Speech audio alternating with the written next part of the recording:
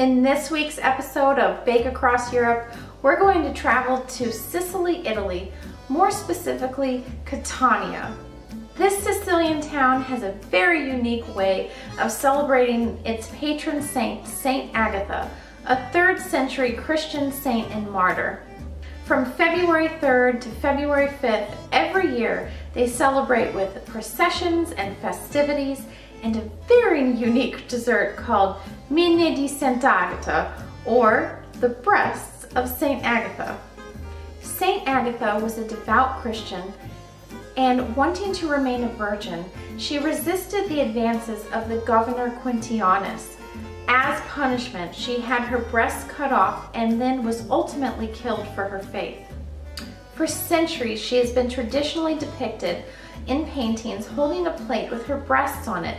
Thus, the dessert was made to resemble this. It's a dessert made with a short crust pastry and then filled with ricotta, chocolate chips, and candied orange peel, and then glazed on top with a white icing and topped with a candied cherry. There are several versions of this dessert, but today I'm going to show you the short crust version. So let's get started and I'll show you how to make the breasts of St. Agatha.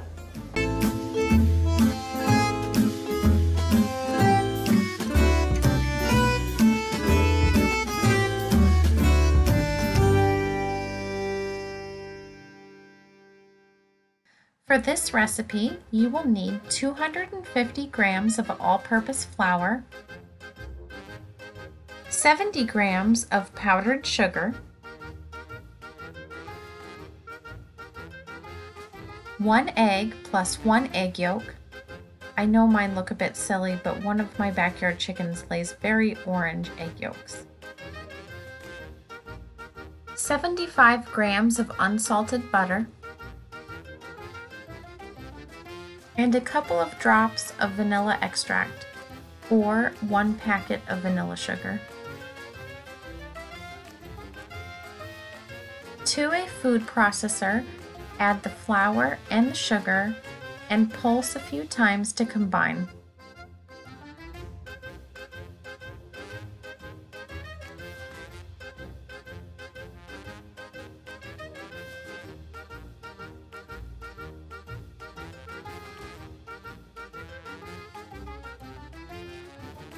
Now add the butter and then pulse until the mixture looks like crumbly sand.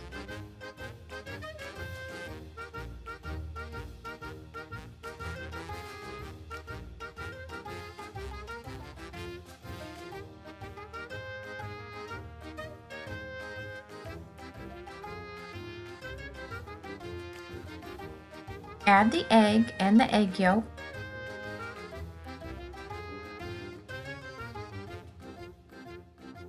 a couple drops of vanilla, and pulse until it forms a dough.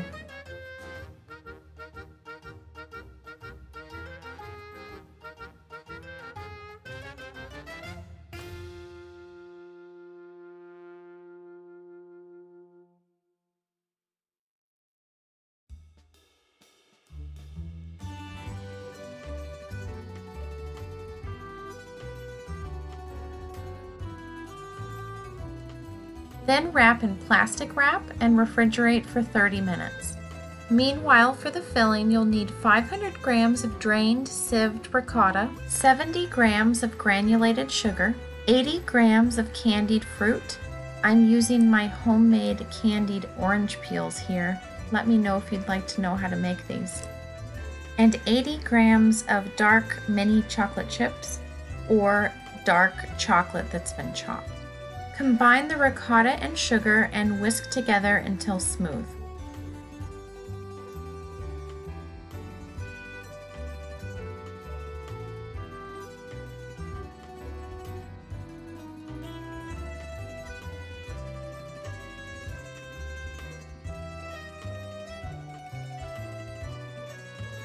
Fold in the chocolate and candied fruit.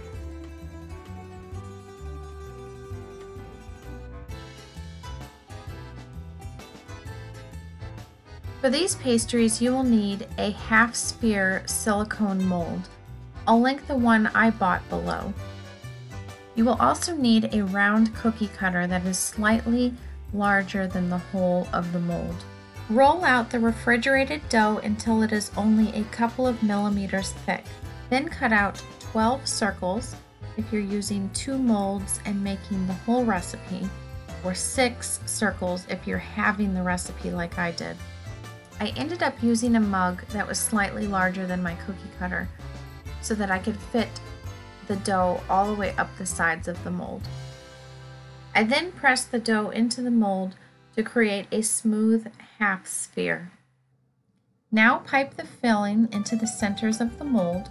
I used a Ziploc bag with the end cut off for a piping bag.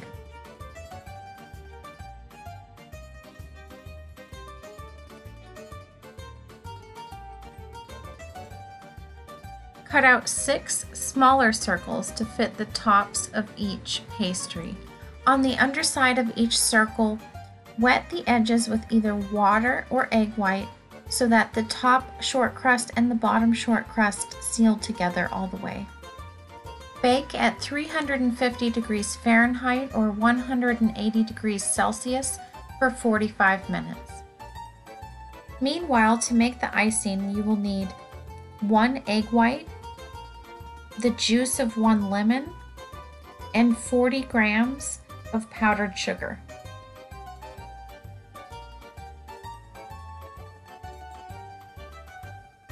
In a medium-sized bowl, beat the egg white with one pinch of salt until it reaches soft peaks. Then beat in the powdered sugar and lemon juice. Add the lemon juice in one tablespoon at a time instead of all at once like I did. Mine ended up too thin and I had, had to add more powdered sugar to make my glaze thicker. Then pour over each pastry, covering all the sides until it has a nice smooth layer of white icing. Make sure they are at room temperature before pouring the icing over them. Top each one with a candied cherry and then refrigerate for a couple of hours to let the icing harden.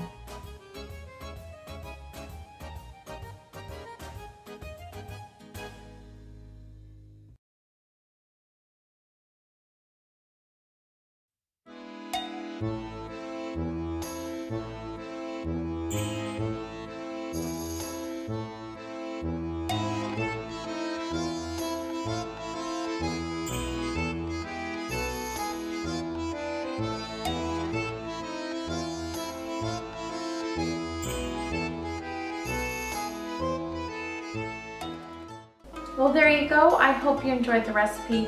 Let me know if you give it a try. It's definitely a unique one, not a, res not a dessert you hear about every day. Um, I, I, thought it was really uh, tasty though.